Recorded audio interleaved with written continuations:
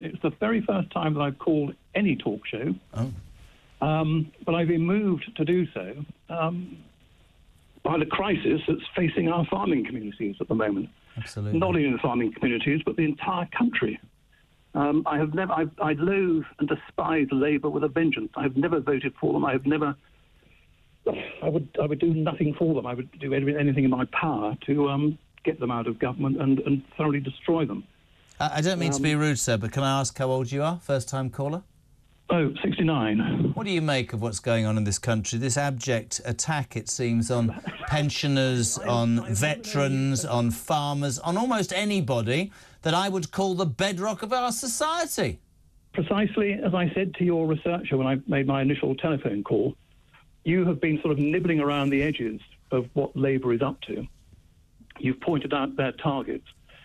But if you get it in your mind that Labour, and this started with Blair as well, and Starmer is merely continuing the motion, they absolutely loathe, hate, and detest the United Kingdom.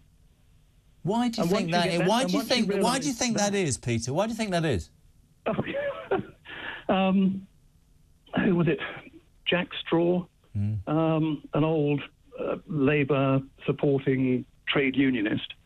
He confessed some years before he died that they, well, anyway, one of them, they used to receive their, their instructions directly from the Kremlin as to how to ruin uh, industry in this country. Um, Labour has always hated this country.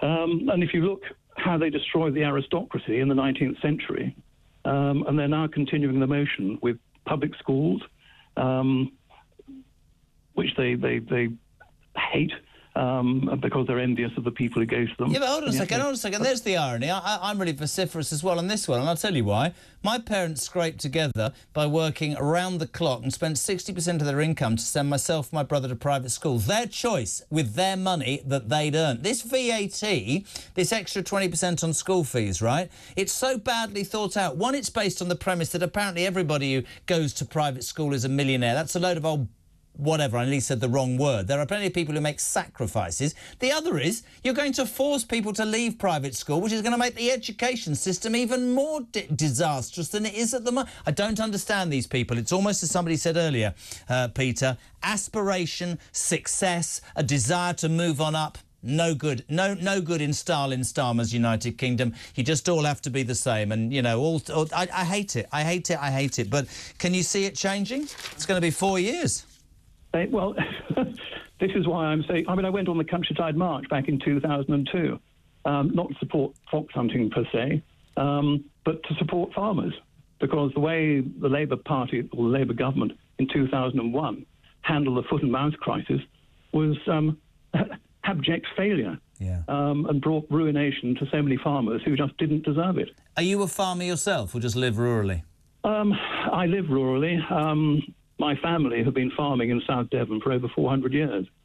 And I have lots of cousins who are still farming. And I feel so incredibly sorry for them um, with the, the, the hassle they're going to have to go through with this absolute horror. And I didn't realise Um, until yesterday. I said this earlier to somebody. I didn't realise that the average income, if you like, against a value of a farm is between one and two percent. So when the Labour Party go, oh, he's got a million pound farm, they're probably making less than twenty thousand pounds a year from it.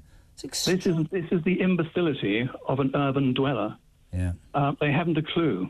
No. Um, so good to have you on. How did you find talk then? A Bit different from Radio Four, isn't it? I was I was watching. Um, I, I loathe the BBC. They are just the spokesperson for this shower of Herberts in, in power at the moment. Um, and when they record the Lord Mayor's show, they cut out the bits with military bands. As soon as a military band hoves into view around the corner, their on the street um, presenter goes to you know some shower of charity Herberts. Um, You so sound on- just like my. I know you're only nine years older than me. You sound just like my dad. It is such a pleasure to have you on. And do me a favour, tell your family and tell your community that this station, which is the home of common sense and free speech, will absolutely stand shoulder to shoulder with the farming community. That's a promise. And I really, really appreciate you making your first ever call to a radio show. Peter and Cornwall, thank you so much indeed.